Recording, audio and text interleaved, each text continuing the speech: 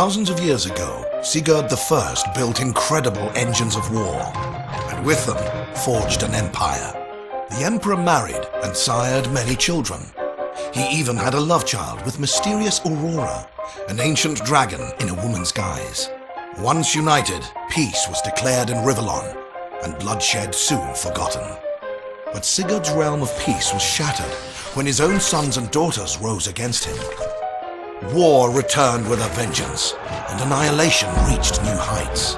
Desperate to safeguard Sigurd's legacy, the wizard Maxos sought the help of the one child that never betrayed his father. Sigurd and Aurora's son, the half-dragon prince. He would be the one to save the empire from ruin. And to aid him in his quest, Maxos delivered unto him the imperial command ship known as the Raven. This is the story of Maxos and the Dragon. This is the story of the Dragon Commander.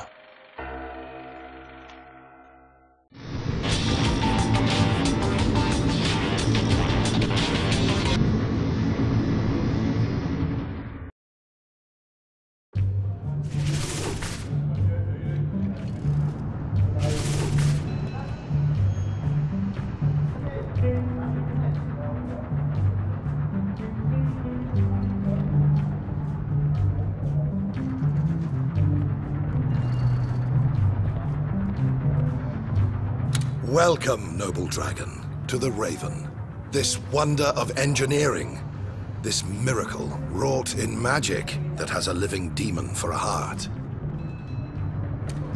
Between the knowledge I shall pry from this infernal creature's cryptic mind and the avalanche of tomes, manuscripts and blueprints aboard awaiting study, we will catch up with our enemies in no time and claim back the lands they have taken by force.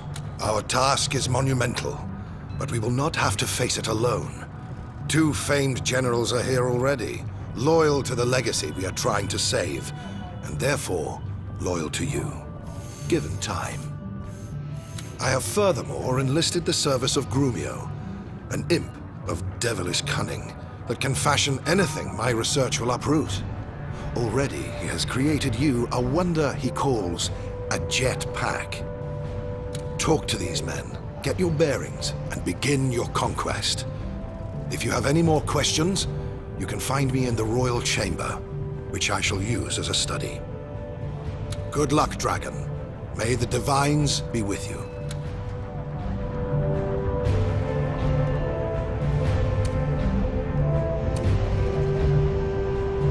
Let me tell your right of the bat bastard that I hold you in very little regard.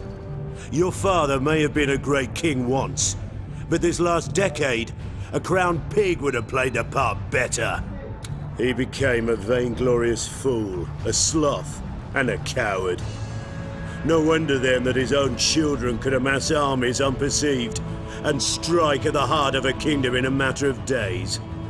He tried to run, but he failed and they slew him where he stood. Now the realm has been shattered, and vultures are picking what they can from his corpse by means of new and terrifying war machines. I'd say all is lost, but Maxos insists you are to be the one, the hero, who will take back the land we've lost. Excuse me if I laugh in derision. Ha! Still, you are a dragon, I'll give you that and of ancient blood. Prove to me you have the rocks to do undaunted battle, and perhaps my respect may still be yours. Aye, and you have titles as well, but none of them king, as yet. I'll address you with the right regard the day you prove worthy of it. Henry of the House of Lancefort. Mo Edmund, he's called a lizard of the House of Carcarus. In truth, I'd rather sleep with Syphilis incarnate than have him aboard, but there's no denying his talent. He's as arrogant as he is astute, and as ingenious as he is insufferable. Why don't you offer him a word of welcome? I know I won't. I believe he's in the bar. Probably searching for sherry just about the only drink that snooty serpent will swill.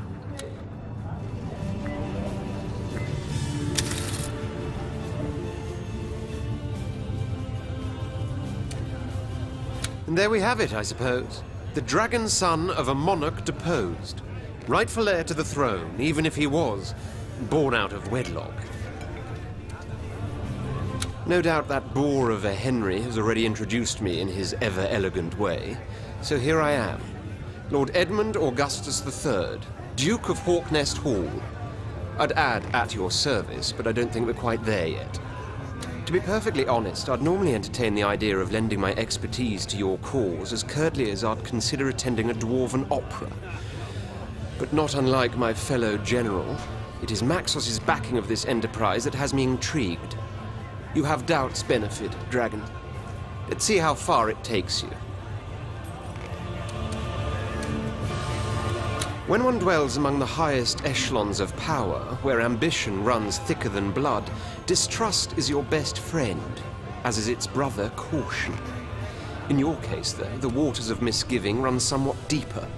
You are, after all, but a half-dragon. They call your kind Dragon Knights to lend an air of nobility to a lowly mixed breed.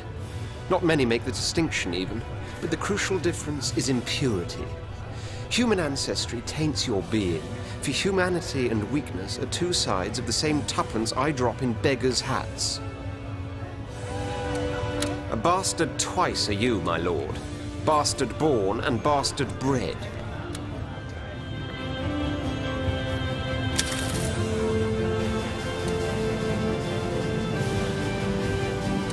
Greetings, sire, sprung from kings. I am Grumio, son of Gromio, an imp of good and honest standing. Your technician, shall I be, if it pleases you? Your engineer and architect. I hope you'll like my jetpack. It is my gift to you, to keep without recompense, for gladly shall I remain aboard this wondrous ship to tinker and toy, hammer and hew. She is special, this vessel filled with wonders undiscovered. The wizard, he feels it too. The taste, the tingle of mystery. Oh, to unlock its secrets. Right-o, my lord.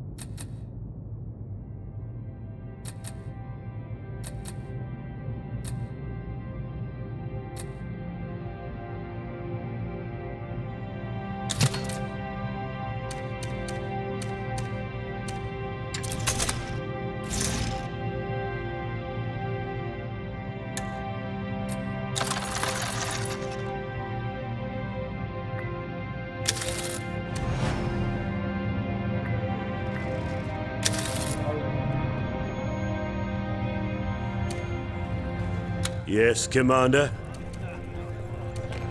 Which one do you have? He's a slimy kid who happens to excel at warfare. I once met a lizard who went to school with him when he was but fresh from the eggshell. Told me he'd always been like that. Smart as a whip, but a loner too. Hopelessly assured that he is better than everybody else, and has ten brains for everyone that we have. Worst part is, he may well have. But don't you ever tell him I said that.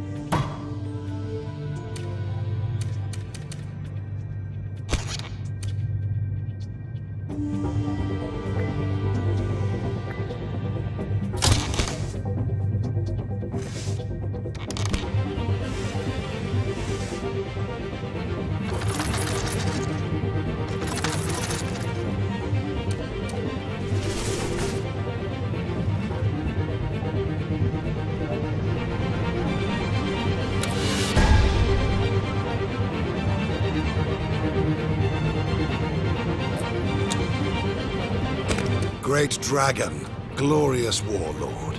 Once more you return from the battlefield red with the blood of slain adversaries.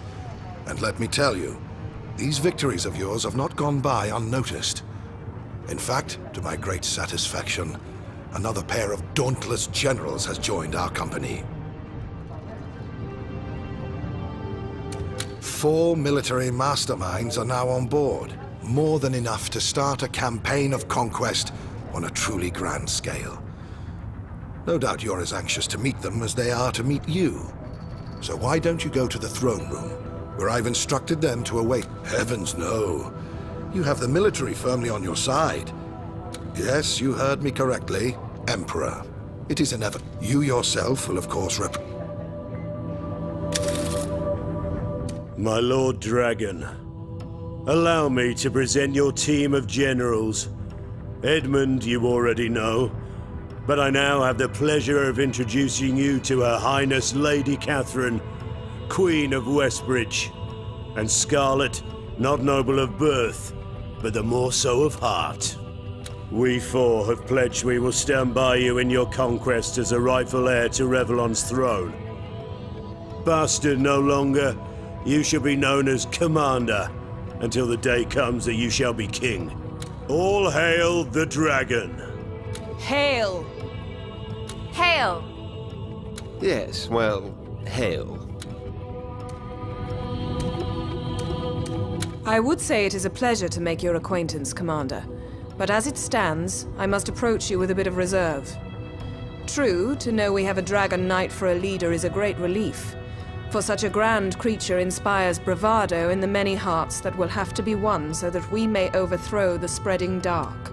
But then again, you are the offspring, the male offspring to boot, of a sorry line prone to decadence and corruption. The very line, in fact, that is responsible for the downfall of the Empire in the first place. Forgive me then if I do wonder, will this commander pass muster? Earn his wings? Earn his crown?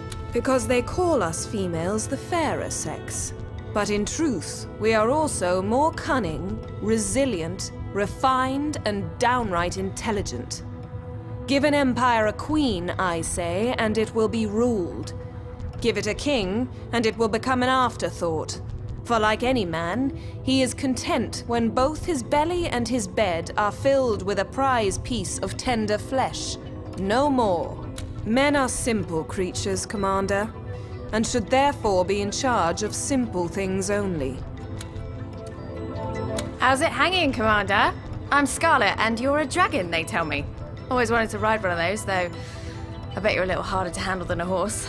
All part of the fun, though, I reckon, so uh, give me a shout when I can take you for a spin. Treat me mean, I'll scratch your eyes out. Treat me well, and I'll purr like a kitten. You're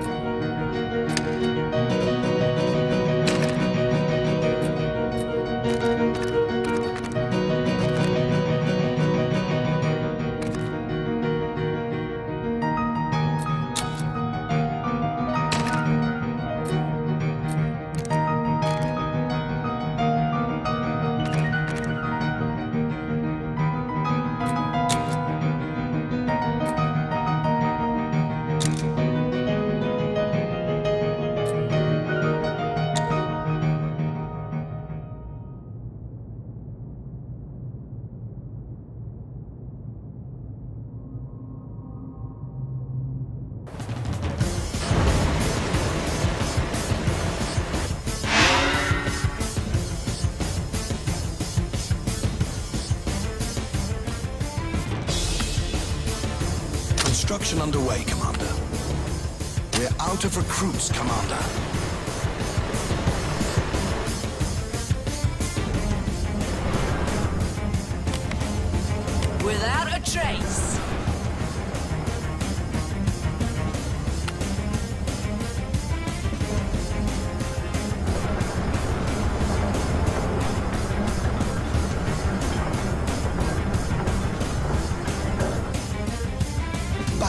Completed. The enemy can build troopers now. No, it's a trap!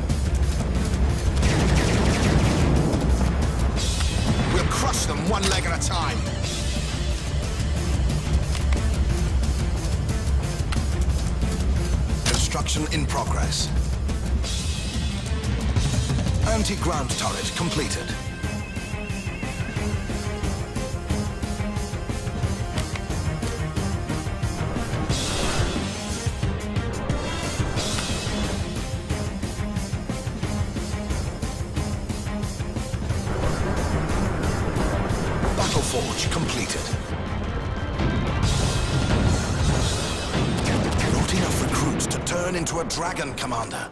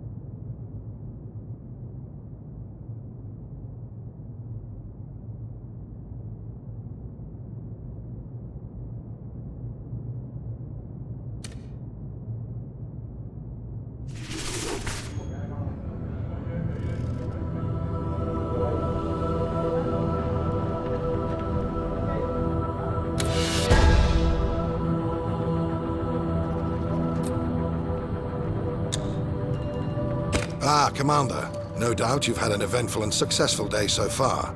But don't rest on your laurels just yet. For I'm here to inform you the Councillors have arrived. The ambassadors of the races whom you'll have to duel and deal with in the political arena. Such is both the prerogative and the burden of an Emperor-to-be. You may think your first duty is that of conquest, to bring the war to as swift an end as possible. But I'm afraid there is much more to being a monarch than military matters alone. As a commander, as an emperor, you'll have to constantly endeavor to find that delicate balance between your roles as strategist and statesman, for the one necessarily influences the other.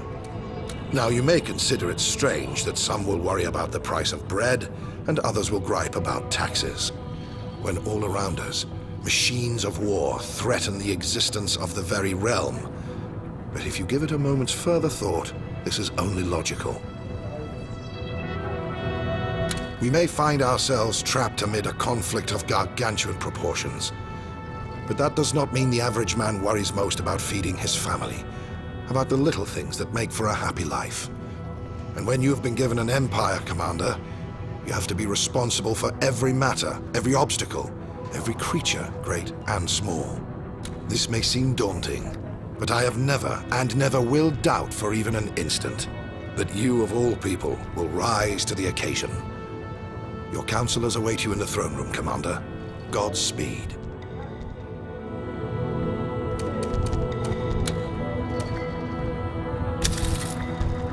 Aha! Shush, everyone, shush! Here comes the long-awaited commander. The dragon that would deliver us from vile usurpers. The one deserving heir to Rivellon's throne. Let me cut right to the chase, Commander, for I'm not a man who takes pride in his words, but in his pragmatism, rather. The entire realm is under siege, and the free peoples left need a strong leader. One who inspires. You see, there may be a war going on, Commander, but that doesn't mean you don't have a realm to rule. Oftentimes, political concerns will take precedence over military ones, no matter how trivial they may sometimes seem in these dark times. As much as possible, where your rule has been established, everyday life must continue like it would in times of peace, and everyday life concerns itself with everyday worries. The people will look to you for guidance in these matters. We, as their representatives, have witnessed your triumphs with mounting awe, and have agreed you are to be the one, the hero, who shall both restore the kingdom and recommence the workings of government. I therefore declare you Emperor. Long live the Emperor! Long live the Emperor!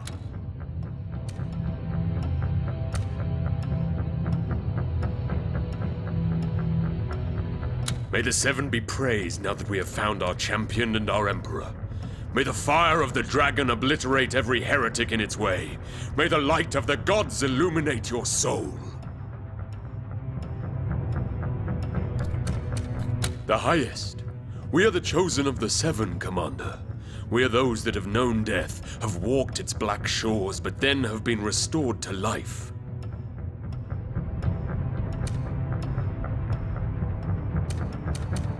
Think you are alive now, Commander, but you are not.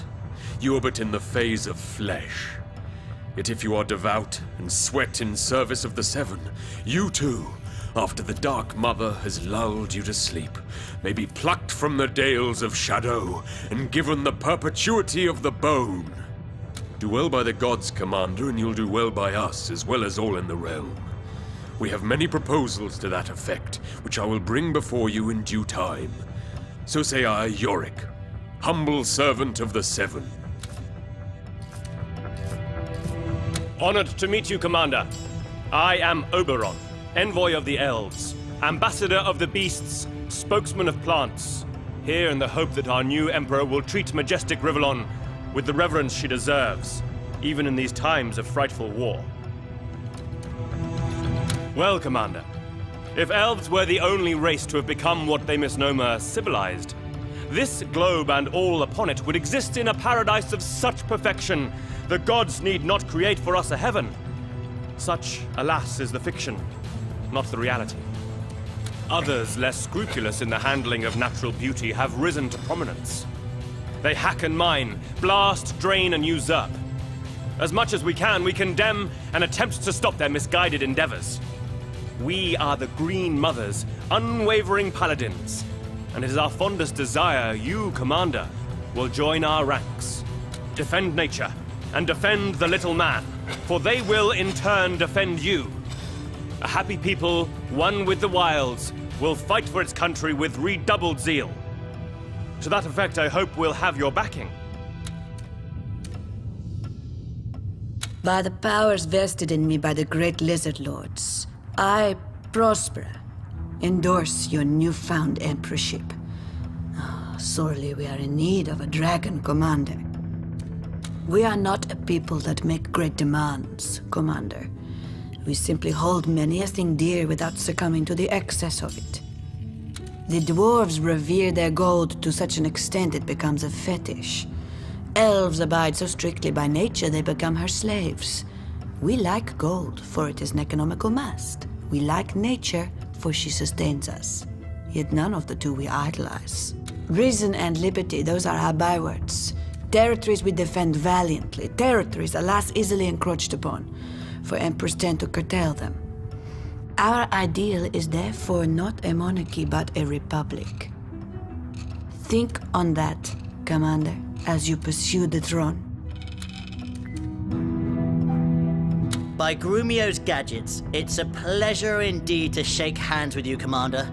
Your technician is my nephew, don't you know? And I am Trinculo Shortfuse, son of Trunculo Even Shorter Fuse. Praised be the dragon! Ha! You want gizmos? You want imps. You want the unthinkable? You want imps. You want great, big, loud, bright fire explosions? Lords above, it's imps you want. We live for all that is new and shiny.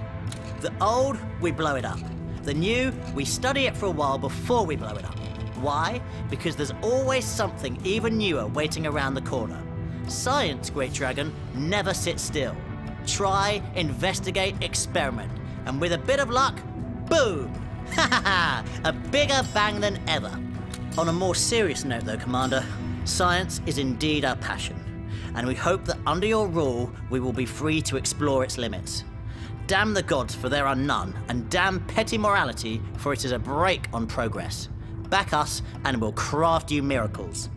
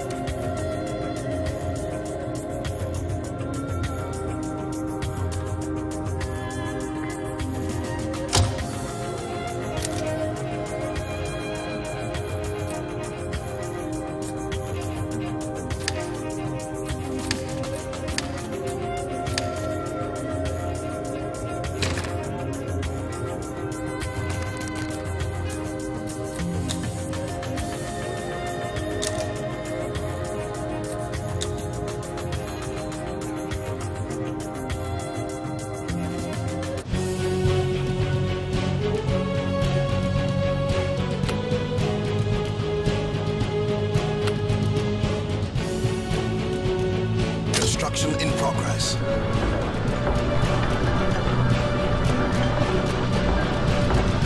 Yes. Won't that use too much fuel?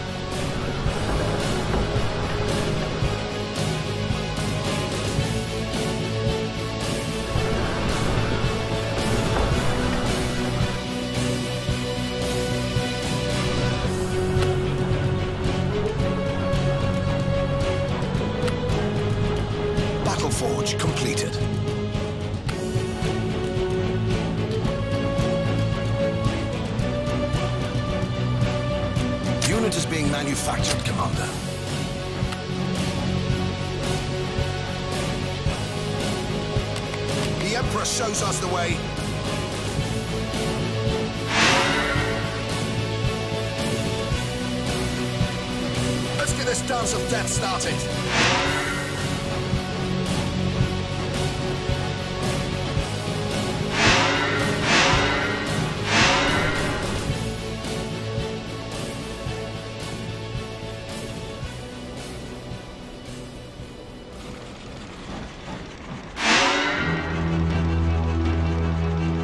Is that a tree?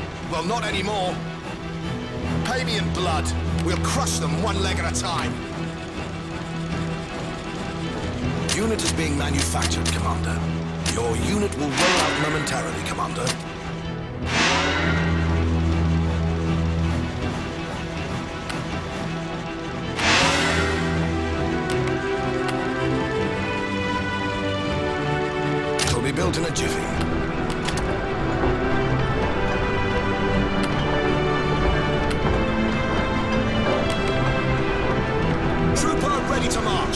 Don't hit too many fish.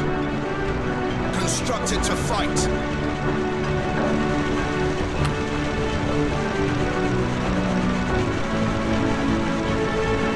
Construction in progress. It'll be built in a jiffy. For glory and honor and wealth.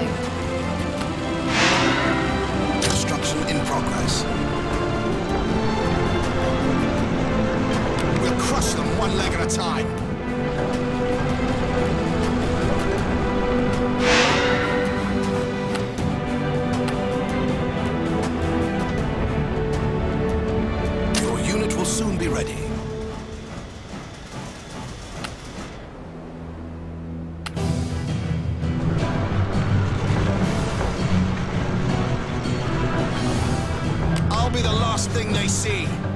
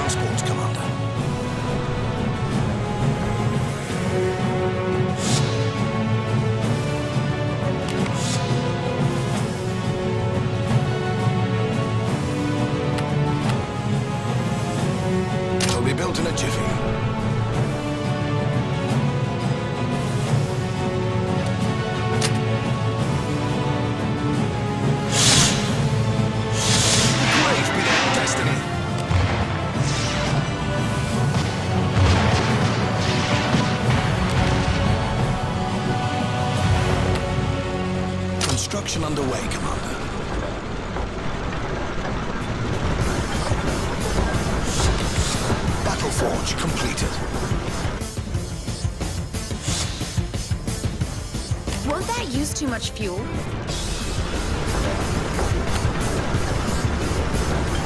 We'll be built in a jiffy.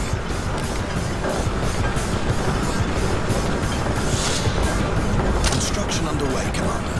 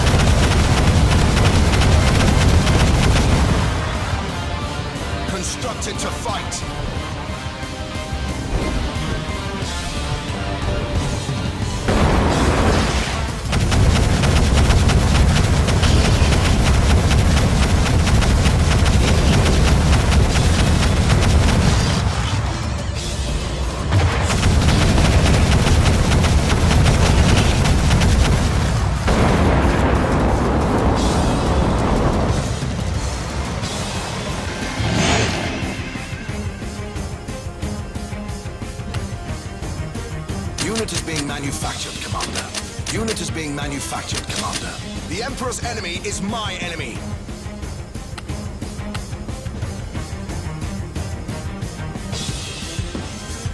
Ready to follow you, even into death.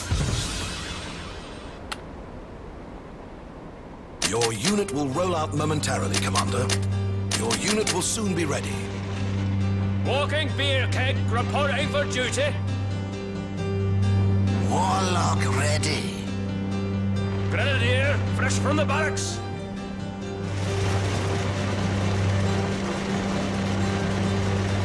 Warlock awaiting orders.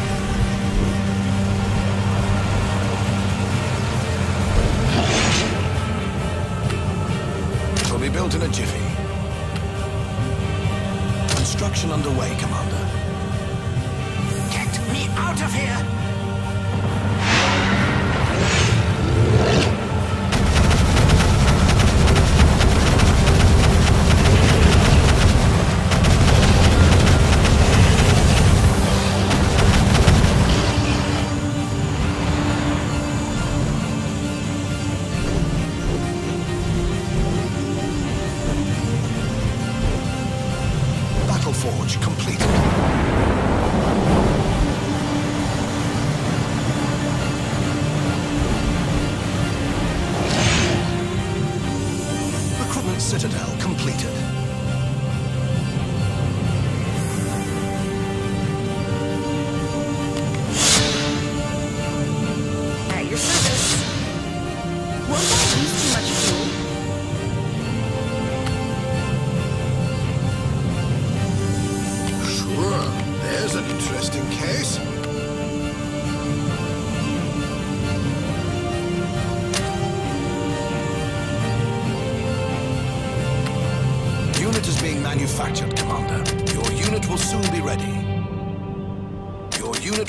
ready.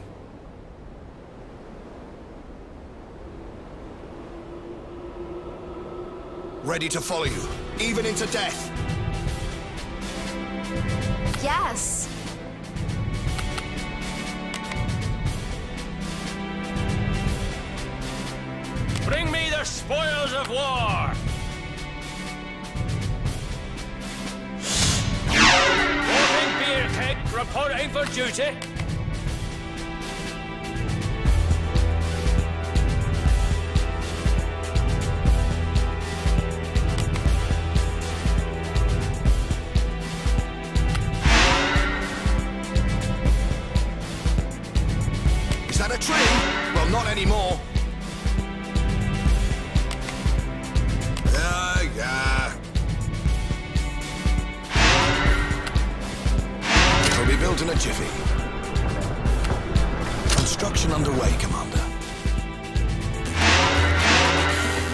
Construction in progress. Warlock awaiting orders. Don't be pushy.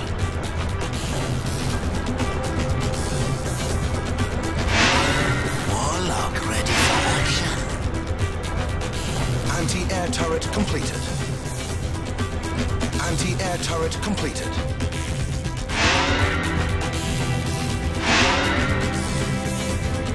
Anti-ground turret completed. Construction underway, Commander. It'll be built in a jiffy.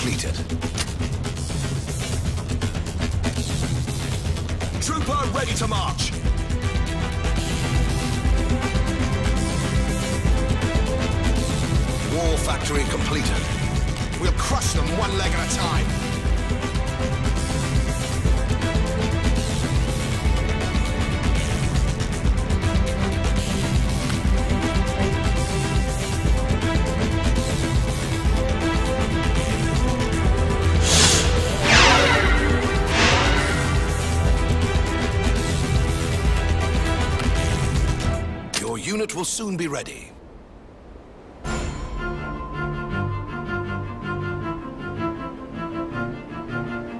At your service.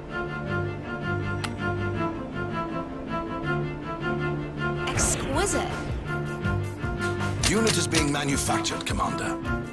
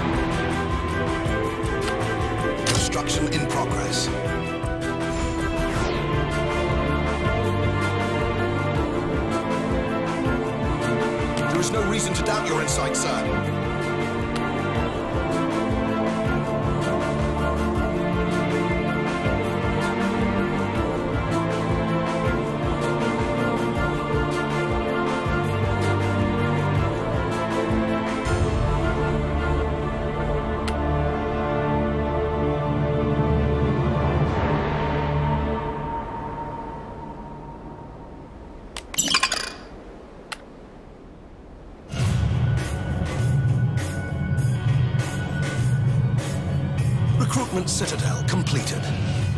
Hope we don't hit too many fish.